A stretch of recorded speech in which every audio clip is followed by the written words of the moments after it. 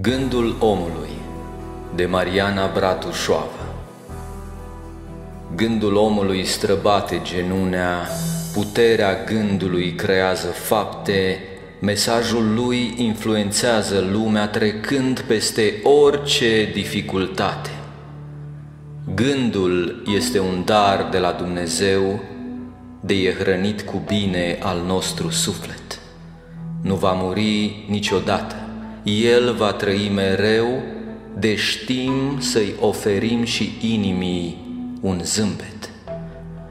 Gândul deschide ușa acelei case unde va fi întâmpinat cu drag, unde se spun poveștile frumoase ce îl surprind plăcut și îl atrag.